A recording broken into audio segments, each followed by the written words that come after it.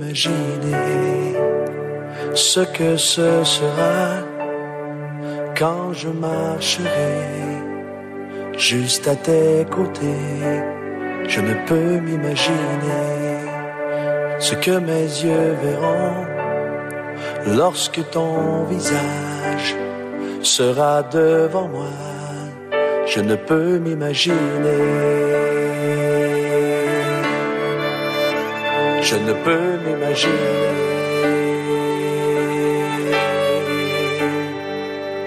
Entouré par ta grandeur, mon cœur va-t-il frémir Danserai-je pour toi, mon Jésus? Serais-je saisi par la peur Devant toi, resterai-je debout? Vais-je tomber sur mes genoux? Chanterai-je Alléluia? Est-ce que je pourrais te parler? Je ne peux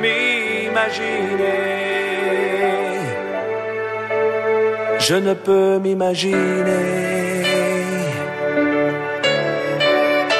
Je ne peux m'imaginer le jour où tu viendras pour me retrouver debout devant toi. Je ne peux m'imaginer tout ce que je ferai sera de t'adorer pour l'éternité. Je ne peux m'imaginer. Je ne peux m'imaginer.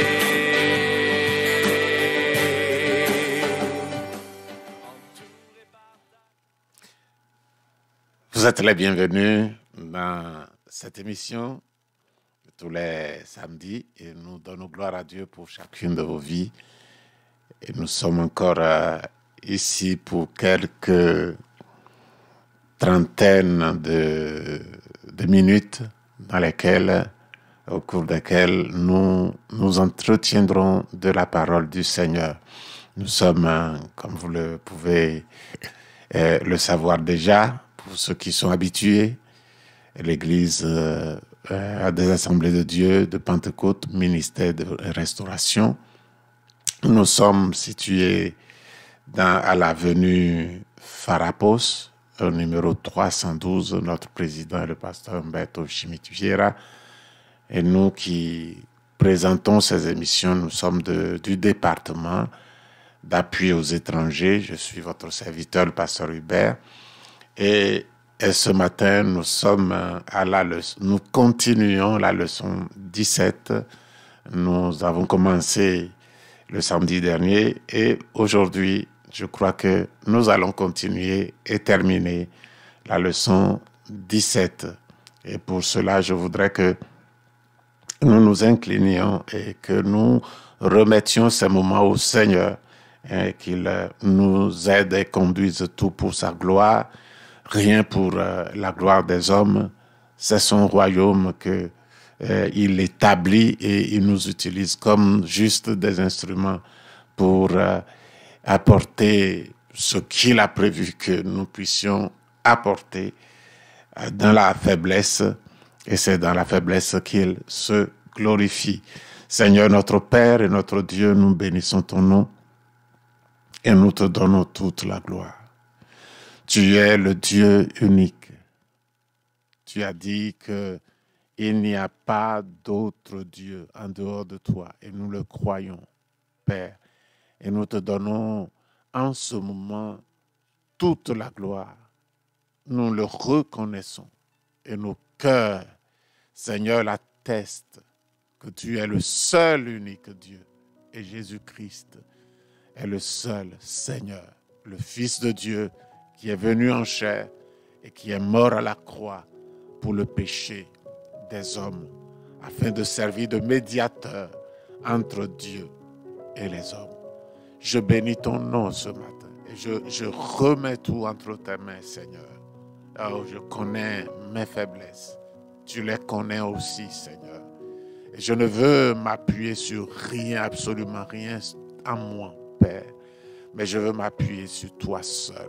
Tu, toi, toi, uniquement toi, Père car c'est toi qui as le pouvoir de transformer, le pouvoir de sauver, le pouvoir de guérir, le pouvoir de, de transformer tout l'homme, Seigneur.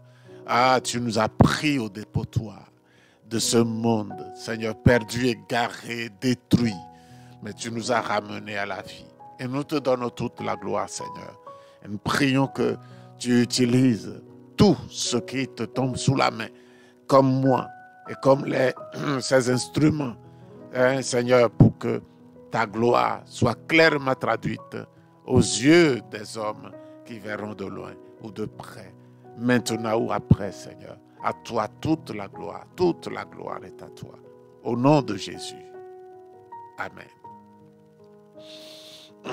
Donc, euh, euh, nous allons faire quelques, quelques rappels pour que la leçon ne soit pas coupée, que euh, ceux qui ont suivi la dernière fois n'oublient pas ce qu'on avait dit, de peur de ne pas savoir comment joindre le, le morceau d'aujourd'hui au morceau de la dernière fois.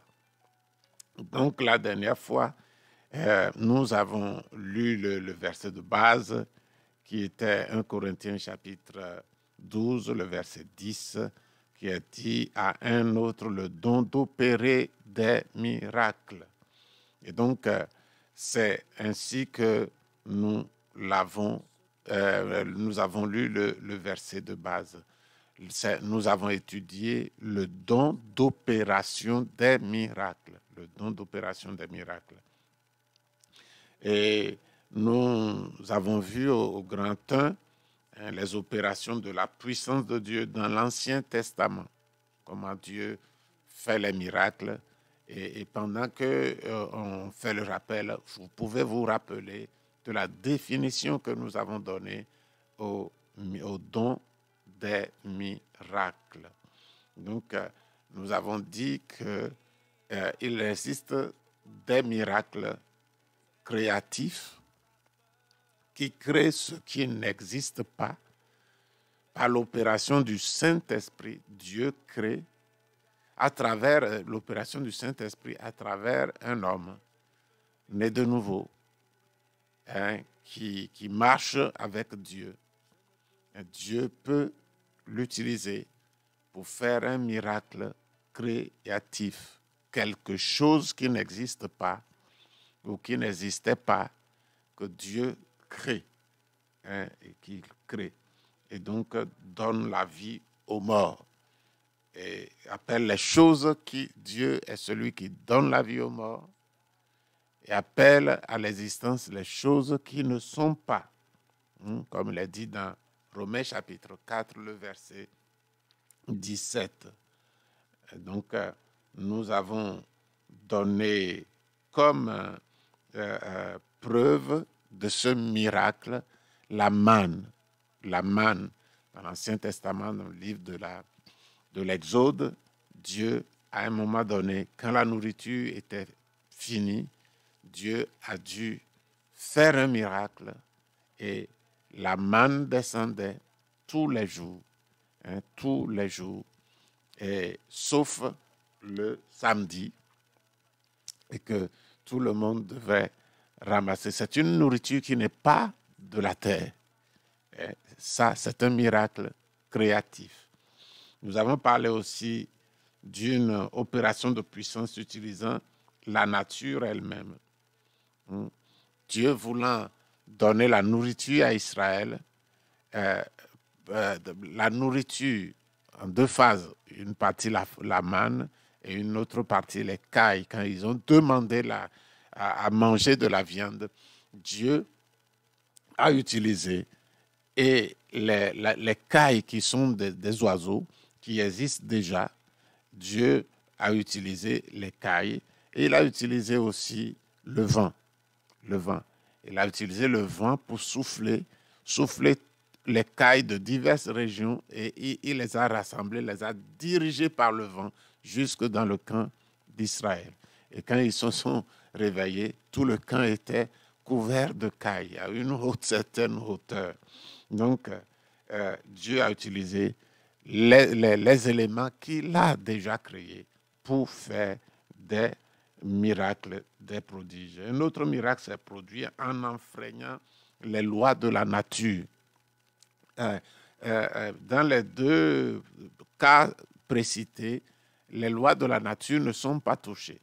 Maintenant, il peut toucher aussi les lois de la nature, hein, comme il a touché le soleil, et, il a touché la terre et le soleil quand il a opéré et, a arrêté. Josué a prié.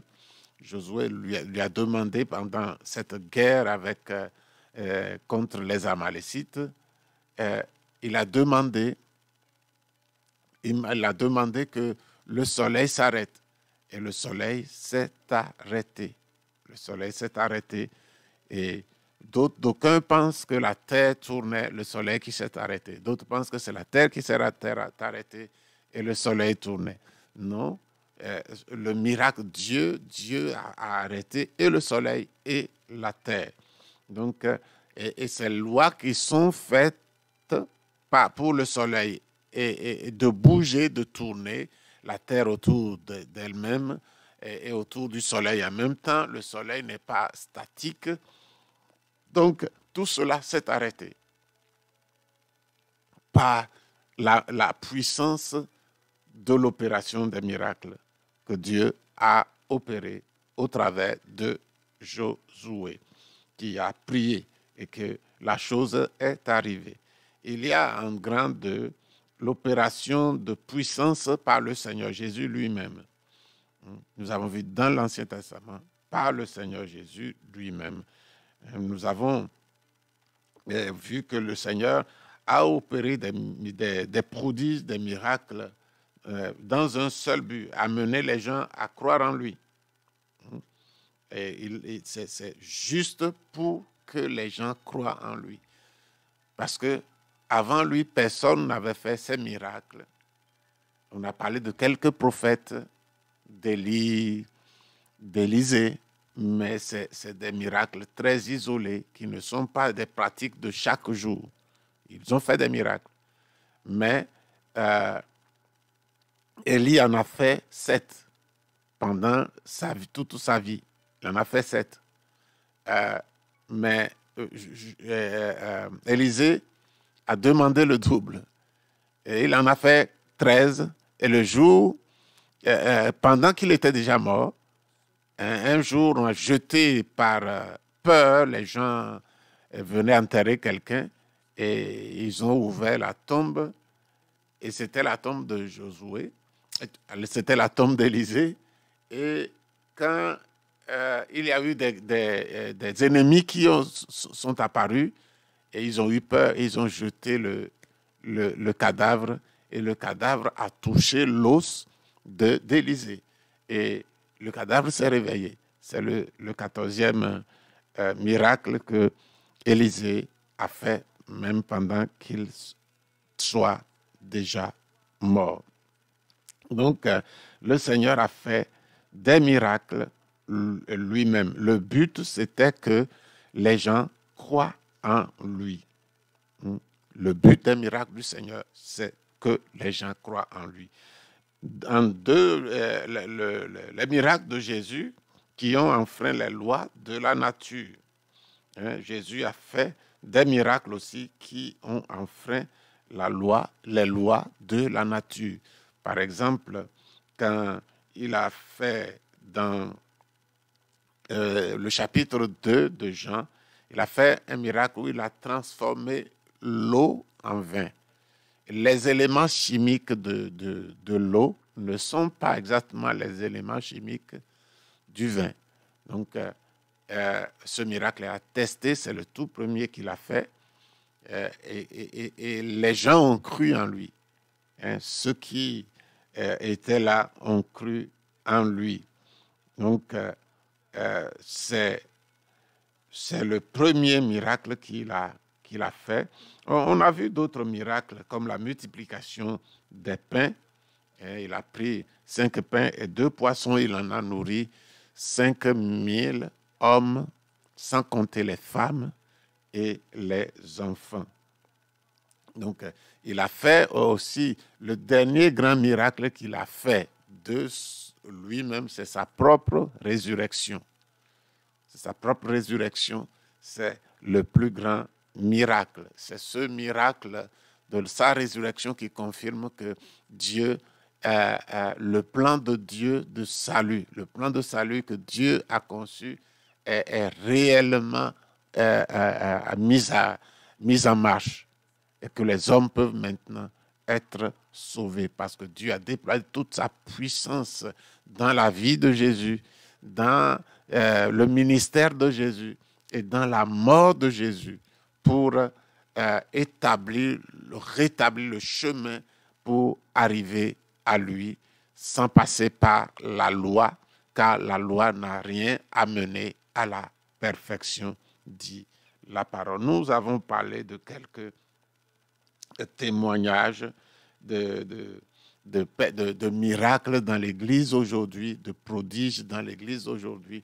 Nous avons parlé d'une de, nos églises où, euh, à Saint, Borja et où euh, il y avait un soir quelqu'un qui venait à l'église et qui un jour, bon, ce jour était son jour, et il avait un pied plus long que l'autre. Et dans la prière, on a prié pour lui. Et ce jour-là, la gloire du Seigneur s'est manifestée. Le pied court a poussé.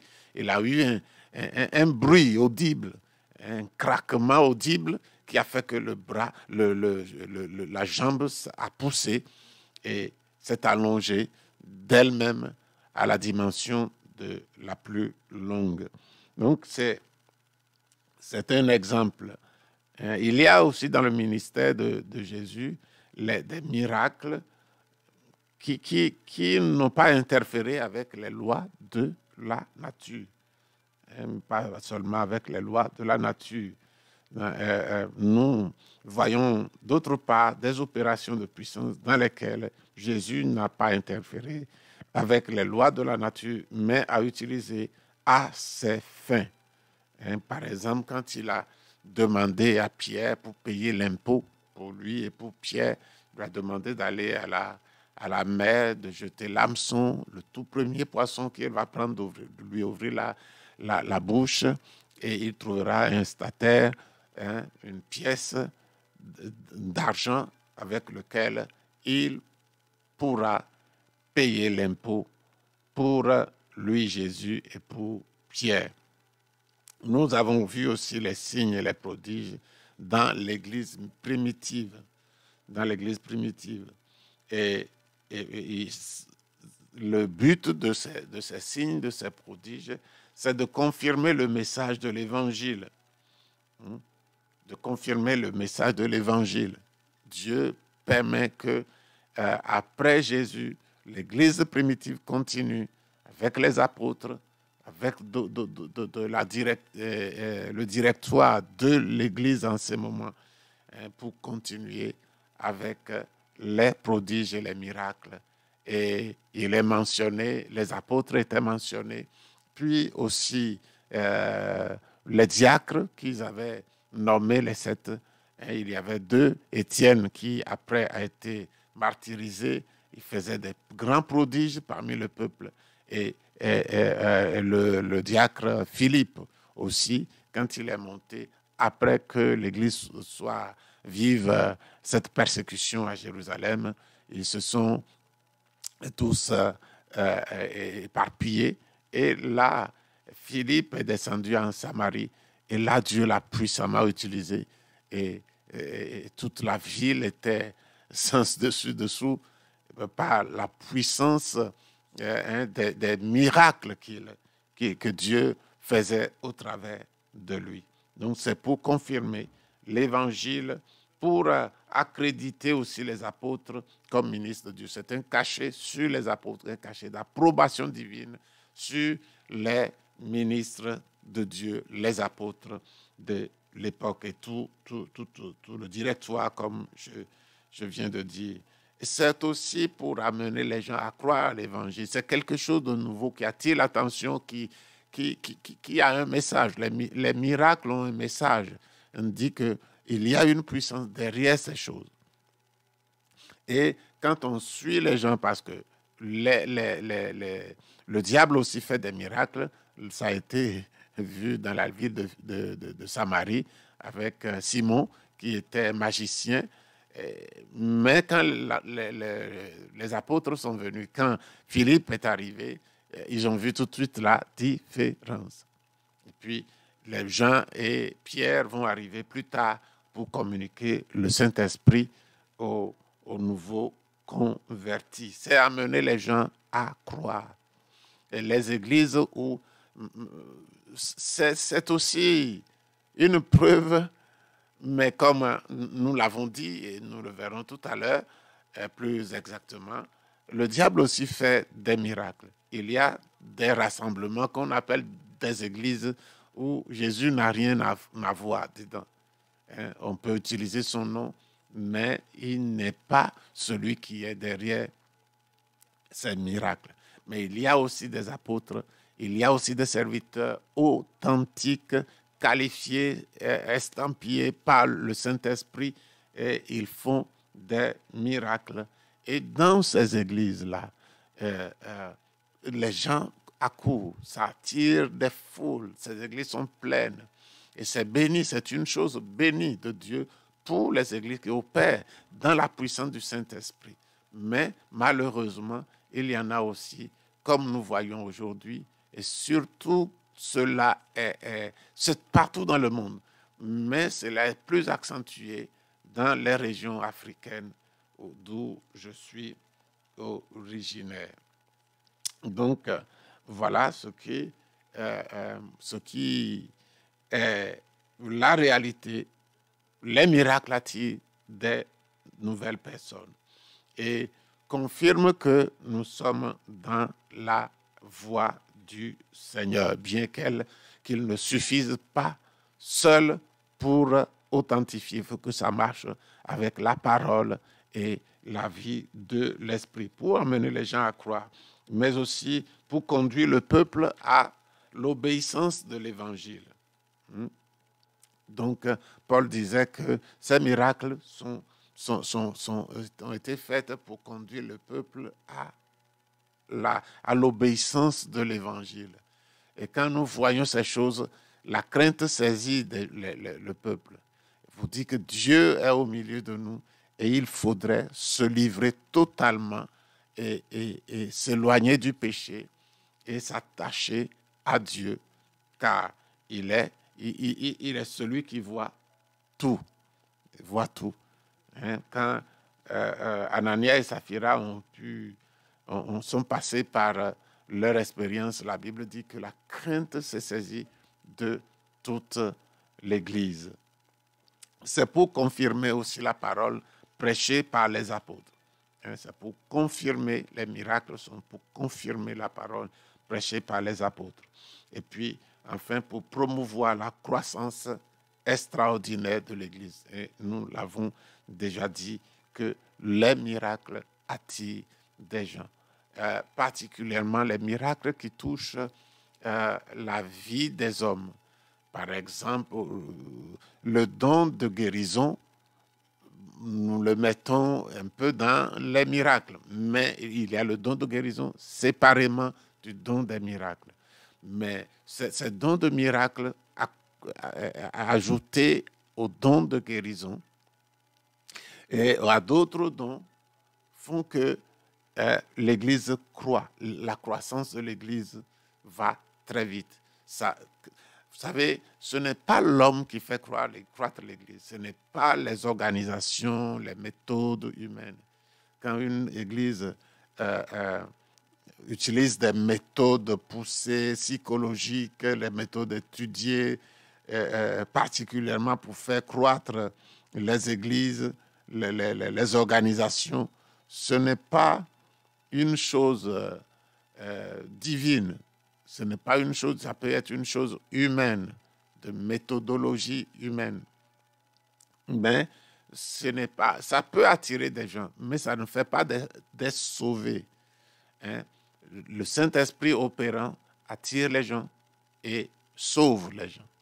Parce que nous, nous pouvons attirer les gens sans pouvoir les sauver. Dieu peut les attirer par les dons, par la puissance du Saint-Esprit et les sauver en même temps. Et entre les deux, hein, euh, les deux pratiques, méthodes humaines et direction, contrôle du Saint-Esprit, je choisis sans sourciller la méthode du Saint-Esprit. Et c'est lui qui est le dirigeant, le directeur de l'œuvre de Dieu aujourd'hui sur terre. Et c'est lui qui fait croître l'Église. Quand nous rentrons dans le, sillage du Saint-Esprit, que nous le laissons faire son œuvre, nous nous soumettons dans euh, tout ce que Dieu nous demande, tout ce en quoi Dieu nous demande de nous soumettre, c'est-à-dire que nous sommes, euh, nous, sommes des serviteurs de dans la vérité, nous aimons la parole, nous sommes dans la parole, nous obéissons à la parole et, nous, prions dans la prière et dans le jeûne, nous, jeûnons comme il convient, comme la Bible nous enseigne de, le faire, comme l'Église primitive. Nous avons des exemples comme l'Église primitive le, faisait, afin que Dieu, hein, de sorte que Dieu se manifeste au travers d'eux d'une manière extraordinaire. Nous avons cette, cette possibilité aujourd'hui et quiconque se lance après Dieu trouvera également les mêmes résultats. Et la croissance de l'Église ne sera pas un effort humain qui va donner de la dépression, qui va donner de l'anxiété, qui va...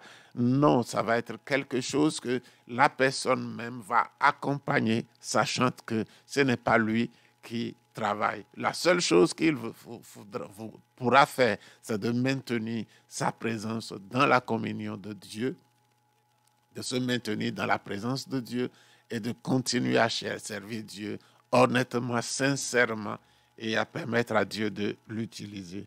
Euh, nous avons vu aussi la foi et les miracles. Nous avons parlé de la, de la foi et des miracles. Nous avons dit que la foi doit euh, précéder les miracles. Et que généralement, ce que nous avons dit, c'est que nous ne pouvons pas faire les miracles. Nous ne pouvons pas faire, mais nous pouvons, euh, euh, nous pouvons préparer, nous pouvons préparer par notre foi la place au miracle. Si quelqu'un prépare, se maintient dans la présence de Dieu, dans la communion de Dieu et croit en la parole, c'est comment on peut croire. La foi vient de ce qu'on entend, c'est-à-dire il est dans la parole et il croit. Et à chaque instant où euh, euh, il prie, il, cherche Dieu, même dans le jeûne. Et à chaque instant où la possibilité lui est donnée, sa foi l'ouvre à attendre le miracle de Dieu. Et ces gens voient clairement la, puissance de Dieu se manifester. Ce n'est pas que sa foi va faire le miracle, non. La foi lui permet d'attendre Dieu et de s'attendre à Dieu pour un miracle. Hein, c'est pourquoi nous disons qu'il y a euh, euh, une différence entre la foi et le don des miracles. Il y a une différence entre la foi. Cette foi dont nous parlons n'est pas la foi miraculeuse. Ce n'est pas la foi qui amène euh, des choses de, Dieu, qui, manifeste l'intervention de Dieu, mais c'est la foi normale qui nous est transmise une fois pour toutes au même moment que nous recevions Jésus comme notre Seigneur. Cette foi-là. Donc, euh, euh, nous devons nous préparer et, permettre à ce que notre foi soit opérationnelle et attende la démonstration de Dieu. Et Dieu voit cette foi et il envoie le miracle comme il le désire. Il est intéressant de, noter que l'opération des, signes de, par la foi n'exige plus une grande sainteté. Ce n'est pas une grande sainteté qui est exigée pour obtenir le miracle. Hein, le miracle qui s'obtient par la foi, cette foi-là n'exige pas une grande sainteté, puisque ce n'est pas la personne qui opère.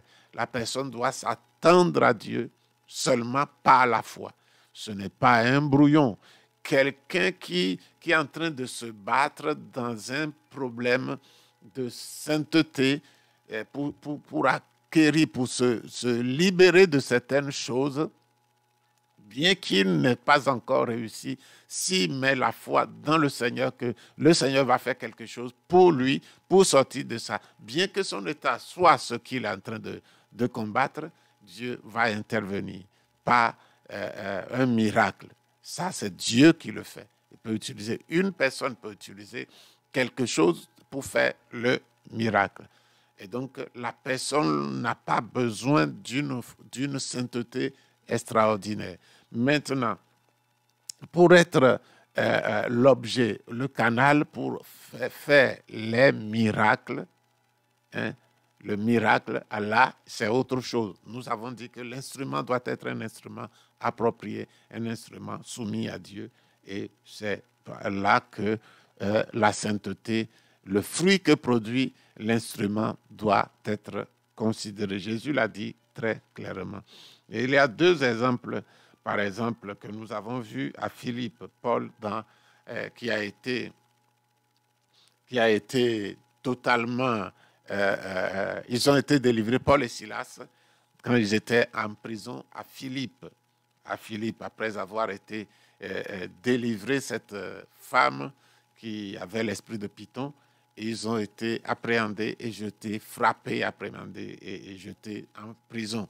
Et dans la prison, ils, avaient, ils avaient fait fi, ils avaient fait fi de toute la douleur, de tout le mauvais traitement qu'ils ont reçu et comme d'habitude, ils chantaient à la gloire de Dieu. Ils louaient le Seigneur. Et les, autres prisonniers les entendaient clairement. Hein. Et subitement, le miracle est arrivé. Euh, euh, un tremblement de terre s'est produit et les gens ont été, les chaînes sont coupées, les, portes des prisons ont été ouvertes, et, mais personne ne s'est enfui parce que Dieu fait le miracle et il contrôle tout. Et donc, euh, Paul et Silas, ils n'avaient pas besoin d'un don de miracle. C'est Dieu qui l'opère. Ils avaient besoin de la foi, de louer Dieu, de savoir que même dans cette situation, Dieu était avec eux et il lui donnait gloire. Et c'est pour cela que nous disons que la foi doit être, euh, doit être une foi naturelle. N'a pas reçu un don de foi pour parler à quelque chose à la, aux portes des prisons. Non. Ils, manifestent leur foi naturelle, leur foi euh, chrétienne à Dieu, en chantant, en louant dans la difficulté. Et Dieu a opéré. Et donc, euh, ce que nous devons faire quand nous attendons un miracle, c'est simplement la foi. Le malade, pour attendre la guérison, il doit savoir que Dieu guérit. La Bible dit dans Hébreu chapitre 11, le verset, euh, le verset 6, qu'il est impossible d'être agréable à Dieu sans la foi. Il est impossible d'être agréable à Dieu car celui qui s'approche de Dieu doit savoir que Dieu existe et qu'il est le rémunérateur. Non seulement qu'il existe, que Dieu est là, et Dieu est ferme, sa parole est la vérité, et que quand on le cherche, quand on, met sa foi en lui, on obtient effectivement ce qu'il a promis. Hein, ce qu'il a promis. Alors, euh, euh, dans, plus loin,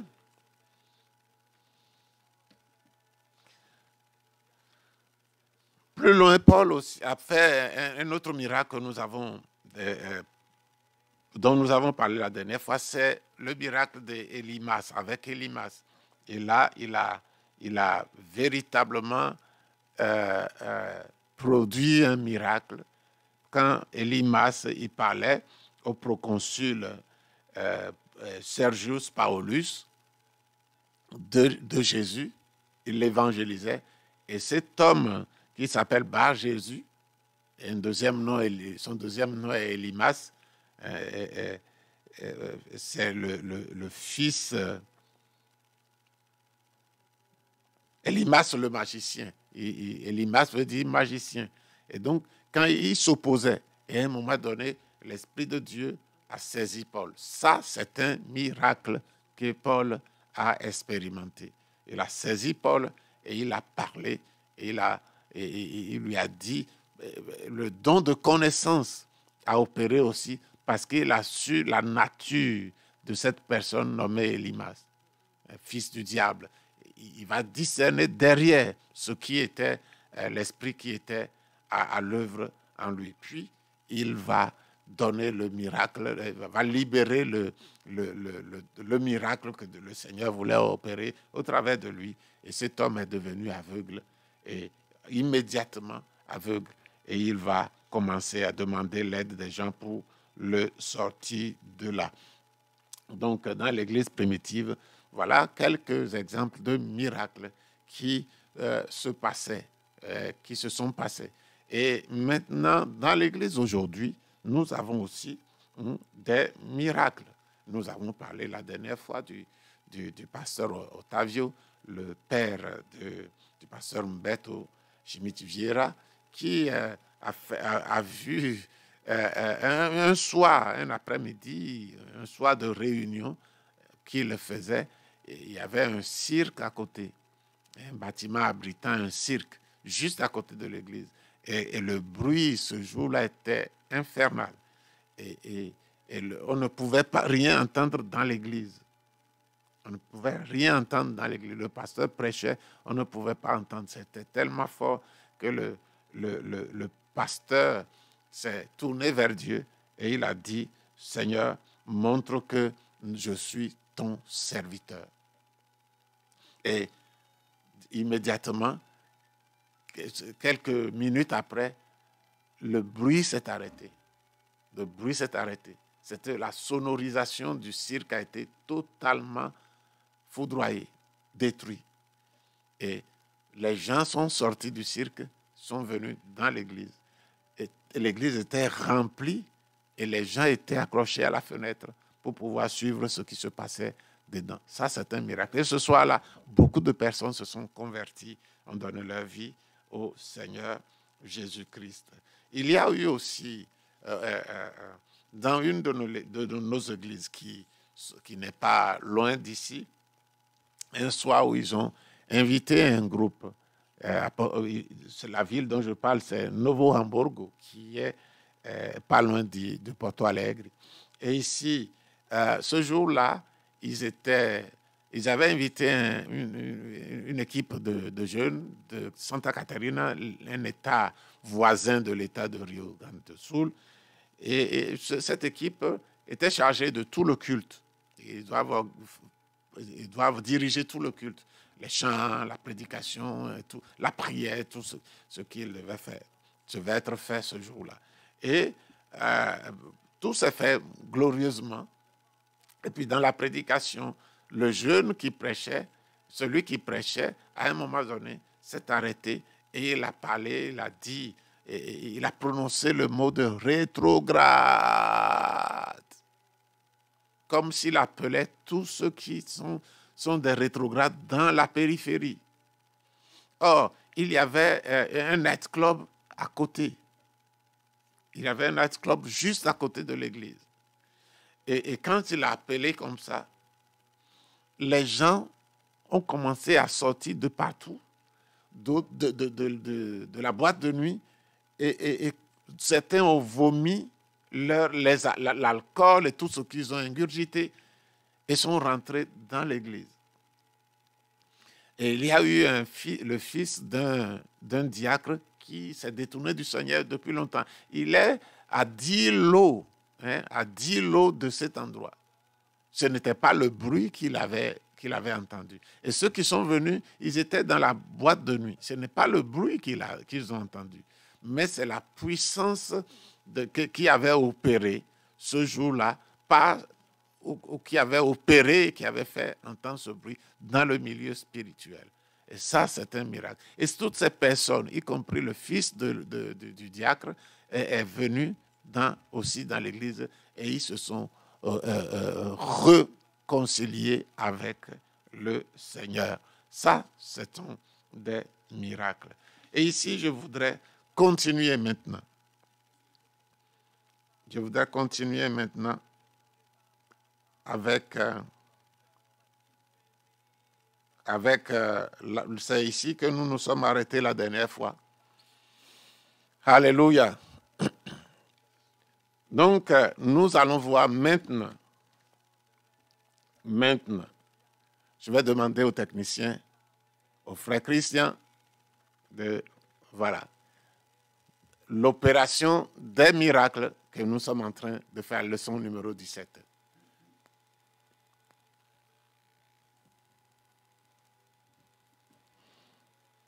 Donc nous sommes,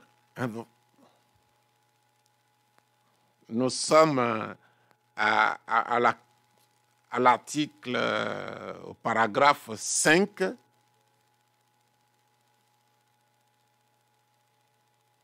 paragraphe 5, est l'opération de la puissance de Satan. Donc, dans cette rubrique, c'est là que nous nous sommes arrêtés la dernière fois. Dans cette rubrique, nous allons voir les sources des manifestations miraculeuses sataniques. Et premièrement, la manifestation de Lucifer avec ses propres attributs. B, la manifestation des ministres de, Lucifer, leur manifestation. Et, puis, en deux, en deux, oui, non pas un, deux fois, en deux, nous verrons l'opération de l'esprit de l'Antéchrist selon l'action de Satan. Et puis en trois, nous verrons euh, pourquoi Dieu permet-il l'opération de, de l'erreur. Et Maintenant, donc, euh, euh, pendant que nous voyons tous ces choses, je l'avais dit tout à l'heure que dans les églises, il y a la possibilité de tomber sur une église qui vient de Dieu, dont les ministres sont de Dieu, et, malheureusement, il y a la possibilité aussi de tomber sur des églises où le ministre ou les ministres sont des, des, des agents de l'ennemi. Comment ça opère? Quelqu'un peut prétendre que des miracles se produisent dans l'occultisme aussi et, dans de nombreuses autres croyances et qu'il ne serait donc pas un signe du sceau, hein, du sceau divin pour l'Église. Cette confrontation eut lieu entre Moïse et Pharaon. Hein, il y a eu une confrontation entre Moïse et Pharaon dans l'Ancien Testament. Donc, c'est pour prouver que il y a deux sources des miracles. Il y a deux sources des miracles. Voici ce qui est écrit dans Exode chapitre 7, le verset 10 à 11. Moïse et Aaron allaient auprès de, Pharaon et ils firent ce qui est ce que l'Éternel avait ordonné. Aaron jeta sa verge devant Pharaon et devant ses serviteurs. Et elle devint un serpent. Mais Pharaon appela des sages et des enchanteurs. Et les magiciens d'Égypte, eux aussi, en firent autant par leurs enchantements. Moïse euh, euh, a, jeté sa verge, son bâton, qui est devenu serpent. Et Pharaon aussi a appelé, et, ça, c'est la puissance de Dieu. C'est la puissance de Dieu. Et, Pharaon aussi a appelé ses serviteurs, ses, ses sages et ses enchanteurs. Et ils ont produit des serpents aussi. Quand vous lisez le texte, vous verrez que le, serpent de Moïse a avalé les, serpents de, Pharaon. Dieu a toujours montré sa supériorité, son, son, son, caractère inimitable. le serpent de Moïse a avalé les autres serpents, les serpents que les Égyptiens ont produits. Et donc, il y a une source qui vient de la lumière, Dieu, et une source de miracle qui vient de Satan, des ténèbres. Donc, euh, nous devons garder ça en, tête.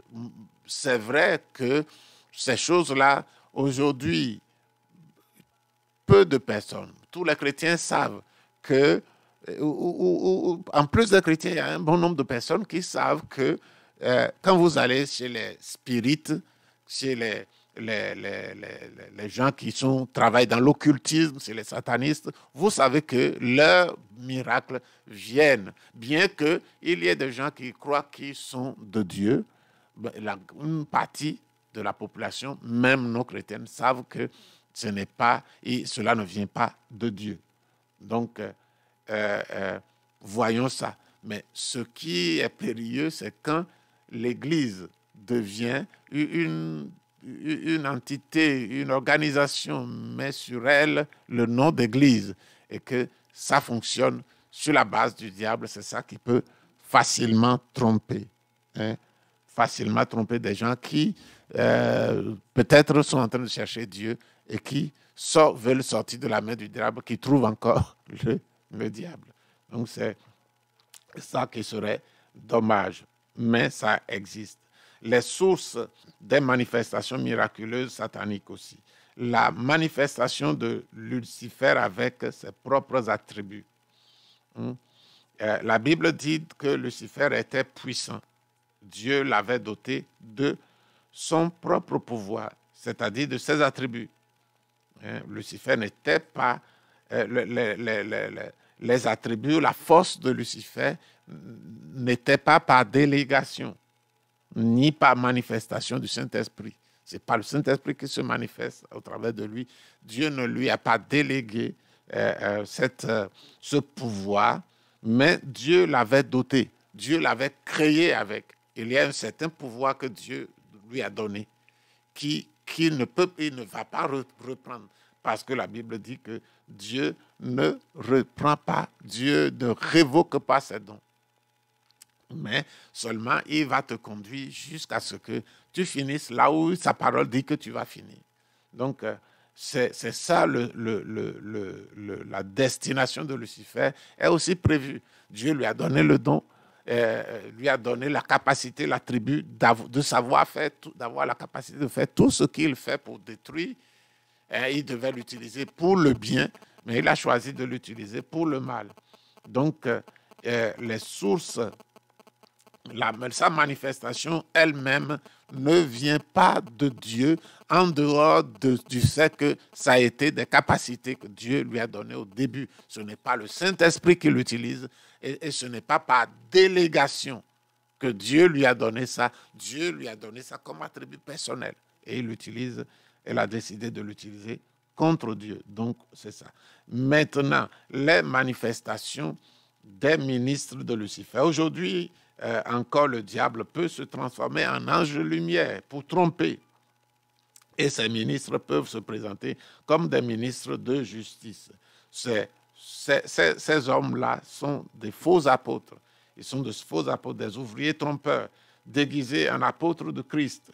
Et cela n'est pas étonnant puisque Satan lui-même se déguise en ange de lumière. Il n'est pas donc étrange que ces ministres aussi se déguisent en ministres de la justice. Leur fin sera euh, euh, selon leur fin sera selon leurs œuvres. Nous dit Paul dans 2 Corinthiens chapitre 11 verset 13 à 15. Donc c'est un passage très fort que, que Dieu, une parole forte que Dieu prononce, assurant que de tels apôtres et ouvriers agissant au, nom du Christ sont vraiment, et ils agissent comme au nom de Christ, mais ce sont véritablement des ministres du diable. Euh, ici, Paul explique d'où vient la puissance des faux prophètes et des faiseurs de miracles auxquels Jésus fait référence. Donc, voici ce que euh, euh, la Bible répond. Hmm? D'où vient la puissance des faux prophètes et des faiseurs de miracles auxquels Jésus fait allusion. Ici, nous allons lire un passage, c'est assez long, dans Matthieu 7, 13, 23. Il dit ici, entrez par la porte étroite, car large est la porte, spacieux est le chemin qui mène à la perdition. Et il y en a beaucoup qui entrent par là. Mais étroite, mais étroite est la porte, resserré est le chemin qui mène à la vie, et il y en a peu qui les trouvent. Gardez-vous des faux prophètes. Ils viennent à vous en, vêtements de brebis, mais au-dedans, ce sont des loups ravisseurs. Vous les connaîtrez à leurs fruits. Cueille-t-on des raisins sur des épines ou des figues sur des chardons? Tout bon arbre porte de bons fruits, mais le mauvais arbre porte de mauvais fruits. Un bon arbre ne peut porter de mauvais fruits, ni un mauvais arbre porter de bons fruits. Tout arbre qui ne porte pas de bons fruits est coupé et jeté au feu. C'est donc euh, à, à leurs fruits que vous les connaîtrez. Ceux qui me disent Seigneur, Seigneur, n'entreront pas tous dans le royaume des cieux, mais celui-là seul qui fait la volonté de mon Père qui est dans les cieux. Plusieurs me diront ce jour-là, Seigneur, Seigneur, n'avons-nous pas prophétisé par ton nom? N'avons-nous pas chassé les démons par ton nom? Et n'avons-nous pas fait beaucoup de miracles par ton nom? Alors je leur dirai ouvertement, je ne vous ai jamais connu, retirez-vous de moi, vous qui commettez l'iniquité. Il va plus loin, car il s'élèvera de faux Christ et de faux prophètes. Ils feront des miracles et des, prodiges pour séduire les élus s'il était possible. Jésus lui-même atteste qu'il y aura des, des, faux prophètes qui vont se lever et qui vont euh, faire des miracles, des prodiges pour égarer, pour séduire même les élus, les faire dévier si cela était possible. Il a donné les caractéristiques du vrai prophète, du vrai serviteur, du vrai ouvrier de Dieu ils produisent des bons fruits. Leur fruit est en, accord avec l'évangile. Mais ceux qui sont des mauvais, ceux qui sont des ouvriers du diable, ce sont ceux-là qui ne produisent pas de bons fruits. Ils, ils se permettent de vivre n'importe comment sans être en accord avec euh, l'évangile, avec la parole de Dieu. Donc, euh, ne sont pas conduits par l'Esprit de Dieu. Hein ne sont pas conduits par l'Esprit de Dieu. Et, leurs fruits secrets ne sont pas en accord avec la vie de l'Évangile. Hmm? Donc, Jésus a prévenu. Donc, ce sont des ouvriers, des faux ouvriers qui n'ont pas leur origine en Dieu, qui ne sont pas envoyés par Dieu, mais qui sont envoyés par l'ennemi de Dieu. Maintenant, nous allons plus loin au petit de l'opération de l'esprit d'Antichrist selon l'action de Satan. La parole de Dieu nous avertit que l'esprit de l'Antichrist est déjà à l'œuvre de nos jours. L'esprit de l'Antichrist, l'esprit qui s'oppose à Jésus. Et la Bible dit que c'est quand la venue du Seigneur se rapproche et cet esprit va intensifier son, action. Hein, va intensifier son action et que l'apparition de cet impie se fera par la puissance de Satan. C'est, c'est l'antichrist, ce ne sera pas Satan lui-même, mais il sera manifesté comme un faux Christ, un faux Christ qui va produire des faux prophètes partout, des faux enseignants partout. Et, la tendance de, nos jours, c'est cela. C'est cela. Pour ceux qui connaissent le vrai évangile, qui connaissent véritablement euh, euh, euh, la doctrine biblique, savent qu'il y a déjà, ces choses sont déjà en train de se produire. Et, l'Église aujourd'hui, nous devons faire attention pour ceux qui veulent sauver leur âme d'une manière biblique, doivent savoir choisir l'Église auquel ils s'attachent, que les critères de l'Église soient des critères biblique et qu'un homme ne, ne, prenne pas la place de Dieu, que les serviteurs ne soient pas euh, des stars et qui attirent la gloire pour eux. Chaque serviteur de, de, de l'Église est serviteur de quelqu'un, est serviteur de Jésus-Christ. C'est lui qui a donné à l'Église des apôtres, des, euh, des prophètes, des évangélistes, des pasteurs et des enseignants ou des docteurs. C'est lui qui a donné. Et si tous ceux qui viennent, si quelqu'un se fait ombrage à celui qui l'a envoyé, cette personne n'est pas envoyée. Tous les vrais envoyés de Dieu, de Jésus, qui est le Seigneur de l'Église, qui est le maître de l'Église, ils présentent leur maître, ils présentent leur Seigneur celui qui les a envoyés. le serviteur n'est pas plus grand que son maître. Et, aujourd'hui, nous trouvons des serviteurs qui sont plus grands que le maître. Ils ne présentent pas le maître. Ils utilisent le maître pour être grand. Ils utilisent le maître pour se pouvoir. Et, ils disent qu'ils représentent Jésus. Que Jésus n'est pas représenté par euh, des gens moches, des gens pauvres, des gens... Non, je ne parle pas que le serviteur ou le chrétien doit être pauvre, mais le chrétien doit présenter toute l'humilité qui était en Jésus. Quand il était Dieu, il ne s'est pas fait un but à atteindre d'être égal à Dieu. Il s'est vidé de sa gloire.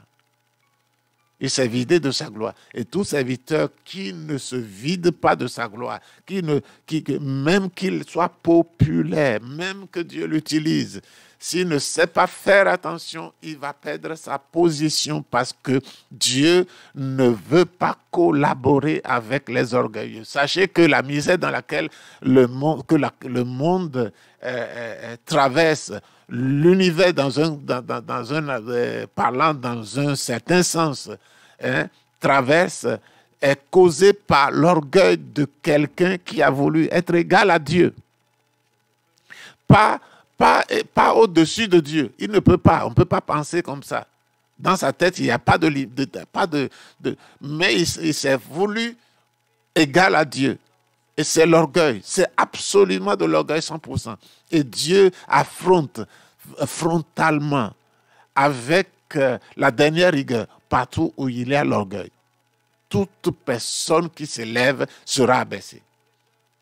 Donc, si les gens disent que c'est au nom de la gloire de Dieu qu'ils doivent avoir un avion, il y a quelque chose qui ne marche pas.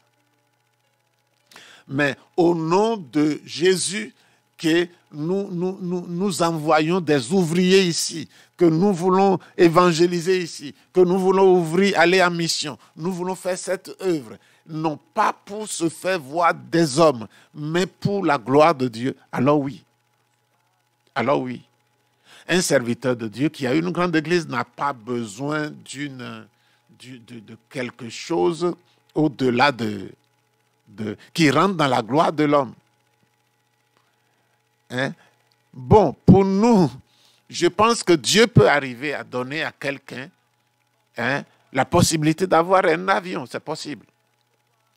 Je ne suis pas Dieu. Mais tous ceux qui verront que cet homme a un avion vont regarder derrière pour dire non, lui là, cet avion, si on ne lui donne pas, ça ne va pas l'arrêter. S'il n'en a pas, ça ne va rien faire sur lui. Il était d'accord pour marcher à pied pour faire l'œuvre de Dieu. C'est l'importance que l'œuvre de Dieu lui donne à travers son œuvre qui fait qu'il a besoin d'aller dans des endroits plus rapidement et plus confortablement parce qu'il prend peut-être de l'âge. je ne vais pas rejeter que quelqu'un, un serviteur de Dieu, ait un avion. Mais il faut regarder comment il a eu. Pour que euh, un serviteur de Dieu ait trois véhicules. Chacun peut analyser. Pour moi, un seul suffira. Un seul bon véhicule suffira. Et si quelqu'un est au stade de moto, une seule, euh, bonne moto suffira. Donc, ce sont des choses. Mais aujourd'hui, nous sommes entrés dans ces, choses, dans ces compétitions matérielles qui sortent, qui, font que nous oublions, le serviteur oublie ce que son maître l'a mis là-bas. Et il ne s'occupe pas de l'œuvre de son maître, il s'occupe de lui-même. Pendant qu'il il y a des, avions, il y a là une église, une église qui est, qui, est faite de bois, de bambou, de bois sauvage. Ce n'est pas de bois bien taillé. Il y a des maisons de bois qui sont magnifiques. Mais ce n'est pas de ça que je parle. Des églises qui, dans lesquelles, quand il pleut, il y a les gouttes de pluie qui rentrent. Donc, les, les chrétiens souffrent.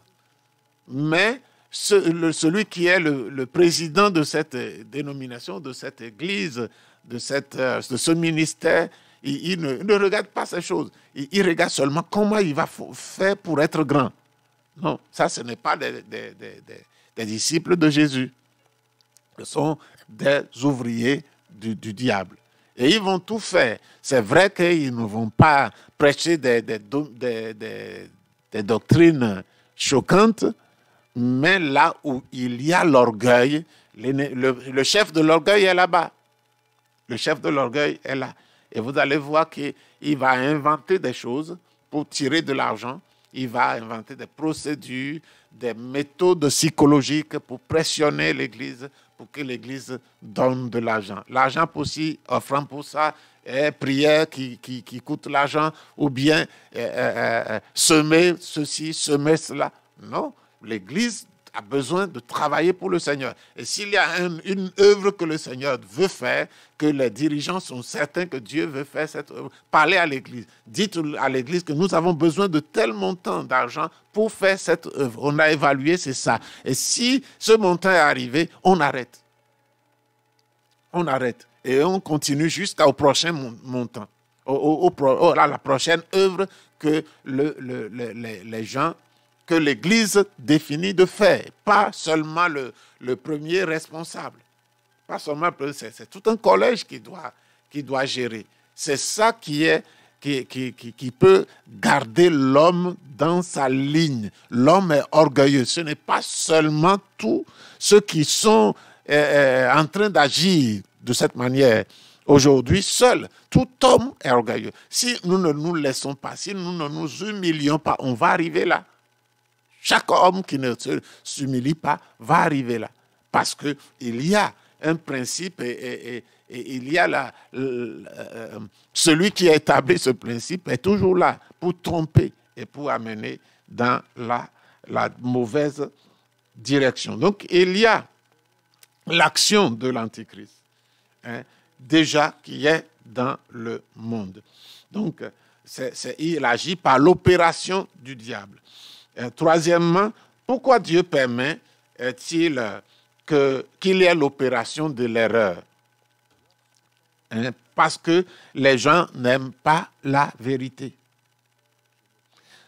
Hein? L'apparition, nous lisons 2 euh, Thessaloniciens de 9 à 12. L'apparition de cet impie se fera par la puissance de Satan avec toutes sortes de miracles, de signes et de prodiges mensongers, avec toutes les séductions de l'iniquité. Ça va continuer avec l'iniquité hein, pour ceux qui périssent parce qu'ils n'ont pas reçu l'amour de la vérité pour être sauvés. Aussi Dieu leur envoie une puissance d'égarement pour qu'ils croient au mensonge, afin que tous ceux qui n'ont pas cru à la vérité, mais qui ont pris plaisir à l'injustice, soient condamnés.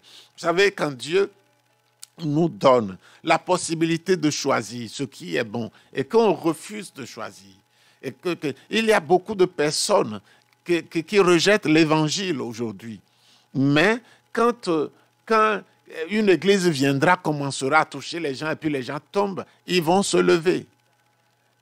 Et, c'est curieux qu'il y a des gens aujourd'hui qui mettent, par exemple, qui, se tatouent. Le tatouage est interdit par la Bible. Hein, et est interdit par la Bible. Ce, ce n'est pas pour cela que ceux qui se sont tatoués sans la connaissance biblique, pendant qu'ils ils étaient dans le monde, pendant qu'ils ne connaissaient pas Jésus, cela ne veut pas dire qu'ils ne peuvent pas revenir. Et quand on revient à Jésus, euh, euh, le tatouage, on ne peut pas l'enlever. C'est difficile à enlever. Donc, il conserve. Cela, ce n'est pas de cela que je parle. C'est dans l'ignorance qu'ils l'ont fait. Et Dieu les reçoit. Quand ils, viennent à Christ, Dieu les reçoit. Mais maintenant, je parle de ceux qui, connaissant tout euh, ayant rejeté l'Église et il préfère vivre la vie de ce monde, se tatouant. Et, puis, dans certaines sectes, il y a les tatouages. Ça, c'est seulement les tatouages. Maintenant, il y a des gens qui ne se tatouent pas, mais qui, choisissent entre une église du plein évangile et euh, une secte, ils savent bien Ils savent bien la différence. Ils connaissent la différence. Ils ont des gens qui viennent de cette église, ils ont, connu des gens et ils choisissent l'erreur, ils choisissent le mal. Des, gens qui ont chassé des évangélistes, des, frères qui sont venus témoigner pour eux euh, de Jésus dans leur maison, ils les ont chassés. Mais quand les, mauvais sont venus, hein, quand les, les, sectes sont venus, quand on leur a parlé de telle loge, de tel euh, euh, euh, occultisme, tel, tel lieu d'occultisme, ils sont allés. Ils ont choisi parce qu'ils ils, la vérité. Ils, ont pris plaisir à l'injustice. Et ils choisissent. Il y a une grande partie de, de l'humanité qui agit comme ça aujourd'hui. Et, Dieu étant patient, informe, averti par un moyen ou par un autre, averti collectivement, averti personnellement, la nature est en train de parler, de prêcher. Et, et aujourd'hui, l'évangile peut être accessible partout. Mais chaque fois que Dieu fait incursion dans leur surface, il le repousse. Chaque fois que Dieu fait entendre quelque chose et essaie de mobiliser leur attention sur la chose. Ils le rejettent. Chaque fois qu'ils sont confrontés avec un témoignage d'un véritable chrétien qui est impactant, peut-être voulant rester sans fléchir dans la vérité, et leur position a été même défiée par ces chrétiens honnêtes qui ne veulent pas euh, euh, euh, la, corruption et, qui ont, pris position. Ils ont été confrontés à cela et ils savent que c'est bien pour d'avoir quelqu'un comme ça qui travaille pour eux-mêmes, mais ils ne veulent pas les admettre parce que, leur témoignage va à l'encontre de leur intérêt qui n'est pas un intérêt légitime. Et alors, ils se mettent contre. Dieu agit d'une manière ou d'une autre pour parler. Mais ils aiment l'injustice. Ils aiment le mensonge. Ils n'ont pas l'amour de la vérité pour être sauvés. Dieu agit de, de, cette façon pendant un temps et puis après, ils trouvent que ce n'est plus la peine parce qu'ils ont pris parti. Alors, ces gens, au lieu d'avoir le Saint-Esprit, au lieu d'être rencontrés par le Saint-Esprit, et, maintenant, et, le Saint-Esprit qui les a rencontrés, a essayé de les convaincre jusqu'à aujourd'hui qu'ils ont refusé. Le Saint-Esprit s'en va. Et quand le Saint-Esprit s'en va, l'esprit de l'erreur vient. vient. L'esprit du, diable vient. L'esprit de la séduction vient. Et, et comme ils n'ont pas l'amour de la vérité, soit on aime la vérité ou on ne l'aime pas. Si quelqu'un n'aime pas la vérité, il sera ouvert à l'esprit du mensonge à l'esprit de l'erreur. C'est ce que cette parole dit. Et cet esprit de l'erreur est travaillé derrière, c'est le diable, c'est Satan qui est derrière.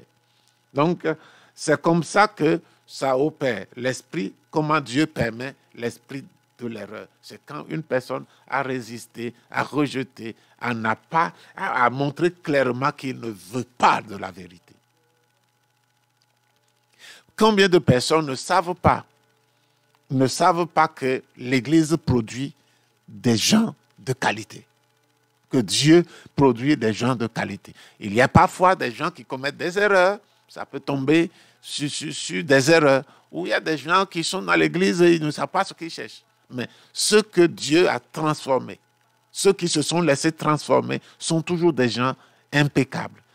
Ils sont des bons citoyens, sont des bons maris, des bonnes épouses, ils sont des bons, pères de famille, ils sont des bons enfants de famille, ils sont des bons ouvriers, des bons travailleurs. Ils donnent l'exemple. Qui ne voudrait pas avoir ces, personnes, les utiliser pour être servis de manière entière et correcte? Tout le monde, même les, païens, les mauvais veulent avoir. Et les voleurs ne veulent pas qu'il y ait des gens qui les, volent. Donc, ils veulent les avoir. Et maintenant, euh, euh, euh euh, quand il faut choisir la même source qui a transformé ces gens en des gens de qualité, ils ne veulent pas. Donc, Dieu est obligé de laisser. Et quand il, n'y a pas de vide. Tu vois? Quand, quelque chose est laissé vide, il y a quelque chose qui reviendra rempli. Et donc, l'esprit de l'erreur est autorisé puisque le retrait de l'esprit de, Dieu prouve que l'esprit de l'erreur peut venir. Dieu a autorisé. Et ça viendra. Parce que un homme ne peut pas être resté, ne peut pas rester sans être influencé par Dieu et sans être influencé par le diable. Si Dieu est là, le diable ne viendra pas. Mais si Dieu se retire parce que la personne euh, euh, euh, ne, veut pas de Dieu, malgré les insistances de Dieu, il insiste toujours et longtemps, alors il se retire et là, l'esprit de l'erreur vient.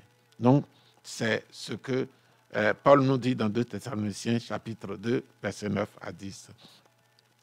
Et, donc, nous avons des prodiges, des signes, des prodiges aujourd'hui hmm, dans l'Église. Il est indéniable que Dieu veut que les, des, signes et des prodiges soient présents dans l'Église aujourd'hui, comme au temps de Jésus et de l'Église primitive. Les miracles accréditent hein, les croyants comme des héros, hein, héros H-E, à Saint-Aigu, héros R-A-U-T-S, héros d'un vrai Christ mort et ressuscité. Dieu veut que l'Église le proclame et proclame Christ comme Christ mort et ressuscité. Paul dit, je n'ai voulu rien savoir parmi vous que Christ et Christ crucifié. Après la crucifixion, la résurrection. Donc, euh, les miracles, les prodiges attestent que Christ est toujours vivant. S'il est un fait que le diable a le pouvoir de faire des signes, des miracles mensongers, à plus forte raison, l'Église du Seigneur doit être capable des opérations de puissance que Dieu désire pour son Église. Ce n'est pas parce qu'il y a des faux miracles, des miracles mensongers, qu'il y a euh, euh, euh, qu'il n'y a, pas de miracle vrai venant de Dieu. Dieu, d'abord, la contrefaçon s'appuie sur la façon. Hein? Le, faux s'appuie sur le vrai. On n'a pas de faux tant qu'on n'a pas un vrai. Hein? On n'a pas de fausse monnaie tant qu'il n'y a pas de, vraie monnaie. Et quelqu'un a dit la manière de de distinguer une fausse monnaie, c'est de connaître parfaitement la vraie, la vraie monnaie. On n'étudie pas la fausse monnaie. On étudie pour, pour, pour, bloquer les, les faussaires, ceux qui font les fausses monnaies. On n'a pas besoin d'étudier leur monnaie, le faux. Mais il faut étudier la vraie, la vraie monnaie. Et en ce moment, on sera apte à discerner le donc, euh, il y a des miracles aujourd'hui. Et l'Église doit chercher, nous devons chercher à, parvenir à, permettre à Dieu de nous utiliser pour des miracles.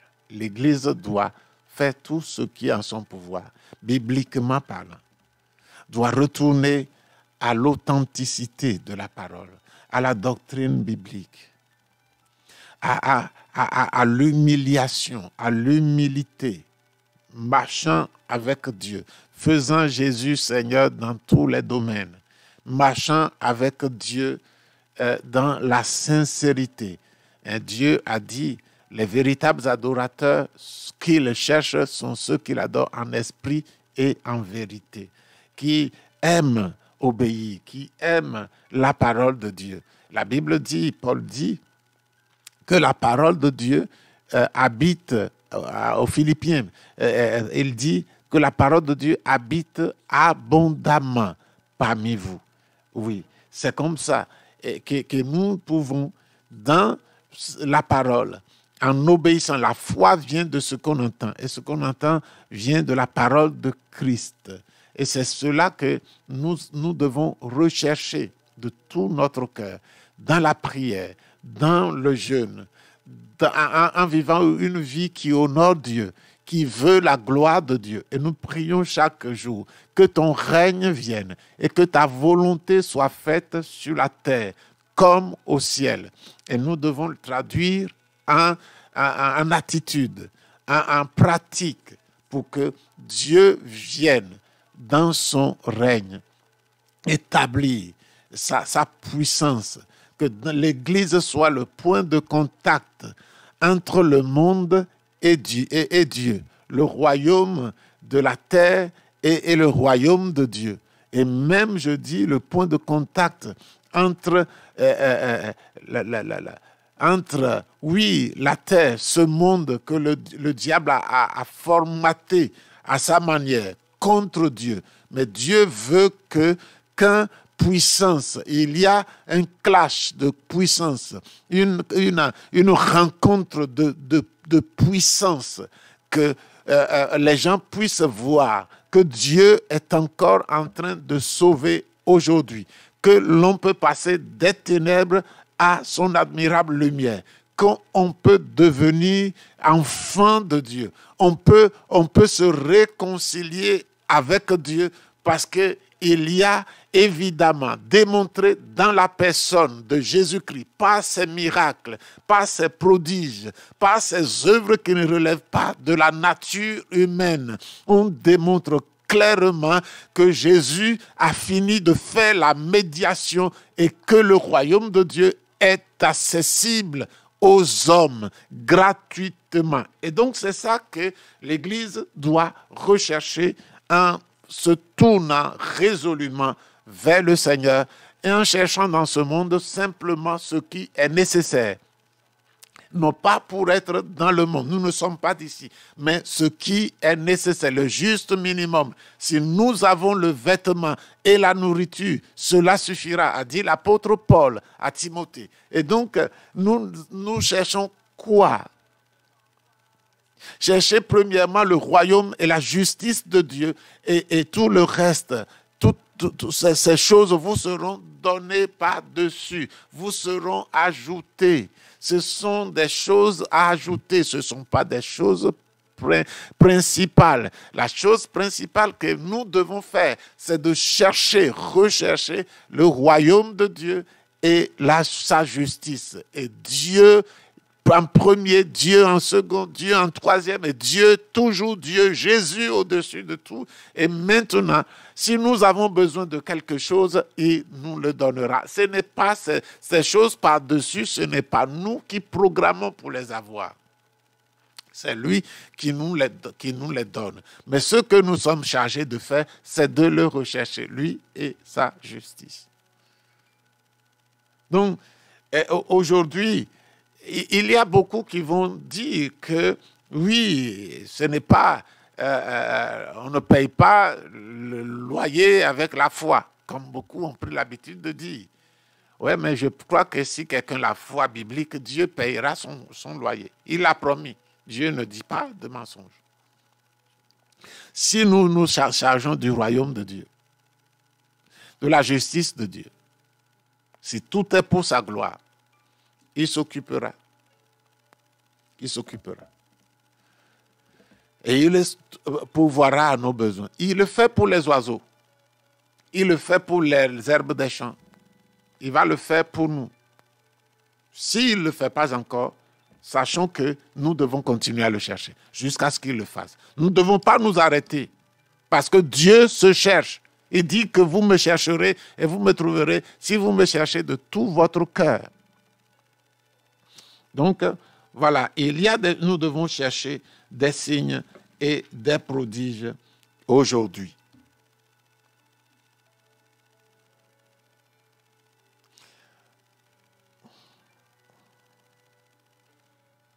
Voilà, nous allons plus loin. La signe prodige. Ah, c'est bon. Donc, euh, nous devons chercher ces signes et ces prodiges. Et donc, et, nous devons continuer à chercher. Si nous n'avons pas trouvé, nous devons continuer à chercher. Hmm? Et il y a aussi les dons du Saint-Esprit qui se manifeste encore aujourd'hui. Hmm?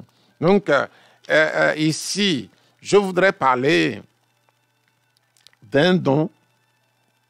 Il y a eu très récemment, ça ne date pas de longtemps, dans une de nos villes qui s'appelle Tres Coroas. Il y a eu notre église, hein, église ministère restauration, dans cette ville, euh, euh, dans un quartier où il y a des voisins. Et un jour, il y a eu des cris. Le pasteur de l'église et un de ses anciens étaient dans l'église le matin en train de prier dans la journée. Hein, dans la journée. Et puis il y a eu des cris. Et une dame s'affolait et disait que son mari est mort, son mari est mort. Elle disait son mari est mort. Et puis elle est rentrée dans l'église. Elle est rentrée dans l'église. Comme voisin, il savait que, elle savait que il y a des, des gens qui venaient prier de temps en temps dans les jours de la semaine dans l'église. Et quand elle est rentrée dans l'église, elle a trouvé ces deux hommes. Et ces deux hommes ont dit, mais qu'est-ce qu'il y a, madame? Et elle a dit, mon mari vient de mourir. Je l'ai vu mourir. Je l'ai pris, il n'a pas plus de vie en elle, en lui. Et le pasteur lui a dit de ne pas crier, de ne pas pleurer, que Jésus est au contrôle. Et ils sont allés avec, euh, le pasteur est allé avec euh, le diacre, et ils sont rentrés dans la maison de là où il, venait, la personne, le mari venait de mourir. Et quand ils sont entrés là, le pasteur a commandé, a, commandé, premièrement, il, a essayé de voir, de l'aider physiquement, mais comme la femme l'a dit, le monsieur, il était mort. Donc, dans son cœur, il a senti qu'il doit commander il a commandé l'esprit de mort de lâcher cet homme. Et quand il a commandé, il a réprimandé l'esprit. Le monsieur a bougé. Le monsieur a bougé. Et avec le diacre, ils sont venus l'aider. Il a ouvert les yeux. Ils sont venus l'aider à se lever. Et quand il s'est levé, le mal dont il souffrait avant de mourir n'était pas un mal où il pouvait se lever pour, faire quoi que ce soit. Mais quand il s'est levé, il s'est levé, il a commencé à sauter, à glorifier Dieu. Il a dit, je suis revenu à la vie, je suis revenu à la vie. Et on lui a demandé même d'aller à l'hôpital. La femme avait appelé la, la SAMU les urgences. Et les urgences sont venues et le monsieur a dit non, qu'il ne va pas à l'hôpital, que lui, il est bien comme ça, il ne sent rien de mauvais en lui. Et même que le pasteur lui a dit, mais va et puis on va, on va voir ce qui s'est passé. Il a dit non, non, non, que Jésus l'a déjà ressuscité, il ne va pas. Et ils ont demandé au SAMU de partir. Et ce monsieur s'est donné au Seigneur et sa femme. Ils n'étaient pas dans l'église. Et maintenant, ils sont membres de l'église parce qu'il y a eu un miracle. Vous voyez comment Dieu peut utiliser les miracles pour bénir, pour sauver, pour, pour, pour délivrer. Dieu le peut. Et nous voulons euh, que les églises se mettent à chercher Dieu, à chercher Dieu. Dieu dit, vous me chercherez, vous me trouverez. Mais il faut que vous me cherchiez de tout votre cœur. Qu'est-ce que, pourquoi Dieu dit qu'il faut le chercher de tout votre cœur, de tout notre cœur? Pourquoi? Parce qu'il n'y a rien ici sur la terre qui peut, puisse nous préoccuper comme Dieu. Il n'y a plus rien qui puisse nous préoccuper comme Dieu. Et si nous mettons Dieu à la place de toutes nos préoccupations, parce qu'il a dit, vous, vous, aimerez l'Éternel. Tu aimeras l'Éternel de tout ton cœur, de toute ton âme, de toute ta force, de toute ta pensée. Qu'est-ce qui reste? Rien. Donc, si nous mettons ainsi notre désir, notre recherche en Dieu, nous le trouverons. Il se laissera trouver. Il a promis qu'il se laissera trouver. Et alors, quand nous, le trouvons, nous trouverons des miracles. Nous verrons des miracles s'accomplir, des choses extraordinaires venir à, l'existence dans notre ministère, dans notre Église. Je ne parle pas seulement aux, serviteurs de Dieu, je ne parle pas seulement à quelqu'un qui est responsable dans l'Église, mais je parle aussi aux chrétiens simples, parce que tu ne sais pas ce que Dieu a préparé pour toi. Peut-être demain, il va t'appeler à quelque chose de plus grand. Peut-être c'est un, un, entrant dans ce créneau de miracle parce que tu l'as cherché, que Dieu va te faire voir la voie dans laquelle il t'a appelé. C'est en faisant ces choses-là que peut-être euh, euh, euh, tes responsables vont voir dans ta vie une touche, une onction de Dieu. Ce n'est pas à dire que si l'Église ne cherche pas, toi, tu ne vas pas chercher. Chacun est responsable devant Dieu. L'appel est personnel. Et c'est Dieu qui veut nous utiliser. Ce n'est pas l'Église qui veut nous utiliser. Dieu veut nous utiliser dans l'Église, en faveur de l'Église, en faveur des hommes, et particulièrement en faveur de l'Église. Mais nous sommes des enfants de Dieu, pas les enfants de l'Église. Nous sommes des serviteurs de Dieu, pas les serviteurs de l'Église. Même si nous servons l'Église, c'est Dieu qui nous a mis au, euh, au service de Dieu que nous sommes et nous a envoyés dans le champ, dans son champ qui est l'Église. Donc, nous devons travailler pour sa gloire. Nous devons vivre pour sa gloire. Nous devons nous disposer pour qu'il nous utilise dans ces dons de miracles. Si, en conclusion,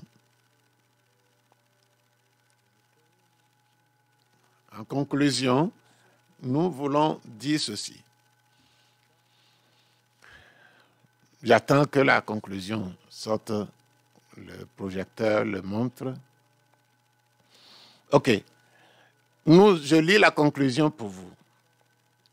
Si nous recherchons le don de pouvoir opérer ou de faire des miracles, si nous entrons dans une communion et nous nous accordons avec le Saint-Esprit, comme Dieu le désire, nous serons surpris par l'Esprit de Dieu. Il nous conduira à faire des choses, à voir des choses miraculeuses, à expérimenter des miracles et à vivre des expériences que notre oreille n'a jamais entendues, que notre œil n'a jamais vu et qui ne sont jamais entrés dans notre cœur. Cela ne se produit pas lorsque nous avons seulement la foi du croyant normal. Cela ne se produit pas. Ces miracles ne se produisent pas lorsque nous avons la foi normale du croyant. Hmm? Nous, auquel cas nous agirons par la foi, mais limité à ce que nous pensons être ce que Dieu veut. Quand nous avons seulement la foi, nous allons nous limiter à ce que nous pensons être de Dieu, à la raison humaine. Parce que la, capacité de l'homme s'arrête à une limite même avec la foi. Maintenant, si la foi nous transporte à entrer dans le surnaturel, à concevoir, à voir Dieu, le Dieu du surnaturel, alors nous verrons autre chose. Laissons donc, laissons un peu de côté les choses inutiles de la vie et jetons-nous dans la présence de Dieu nous consacrons notre vie au Seigneur. Prions, jeûnons et laissons l'Esprit imprégner chaque aspect de notre vie et demandons cette manifestation glorieuse de l'Esprit dans nos vies. Et nous verrons la gloire de Dieu. Que le Seigneur bénisse chacun d'entre vous, chacun d'entre ceux qui sont près et ceux qui sont loin. Nous bénissons le Seigneur. Nous allons prier. Seigneur notre Père, nous te donnons gloire, nous te bénissons. Qui n'aurait pas de soif à avoir cette expériences avec toi, Seigneur. Et tu es notre Dieu, le roi qui nous a créés. Et tu veux nous utiliser, tendre Père. Tu le veux. Et je prie, Père céleste, que tu nous donnes ta grâce. Aide-nous à savoir mettre les choses inutiles de côté. Les choses inutiles, inutiles de côté. Et à venir à toi, Seigneur. Et à soupirer à toi. Aspirer aux choses divines, à la gloire de Dieu. Et à se jeter entre tes mains. Pour vivre pour toi pour laisser le Saint-Esprit agir et nous transporter au-delà des limites humaines, des limites normales, pour entrer dans les eaux, les grandes eaux de ta profondeur. Nous prions, Père, que tu nous aides, oh Dieu. Tu nous aides, Père. À entrer, Seigneur, dans cette dimension. Aide mon frère, ceux qui entendent, ceux qui, Seigneur, suivent cette étude. Je prie que ta grâce agisse et bénisse chacun, nous transportant à, à un niveau plus élevé que ça. Fais-le pour nous, à cause de ta bonté et de ta grâce. Nous le demandons au nom de Jésus. Amen. Le Seigneur vous bénisse.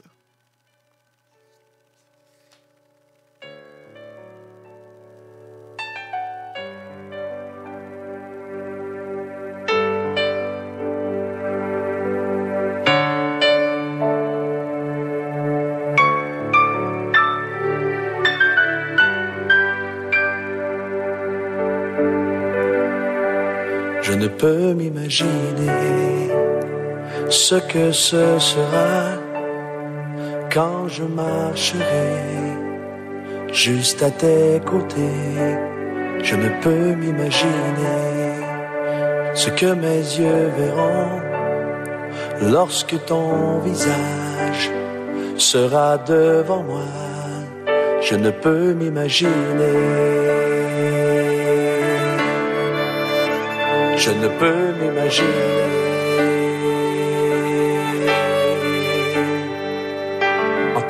Par ta grandeur, mon cœur va-t-il frémir dans ce rêve?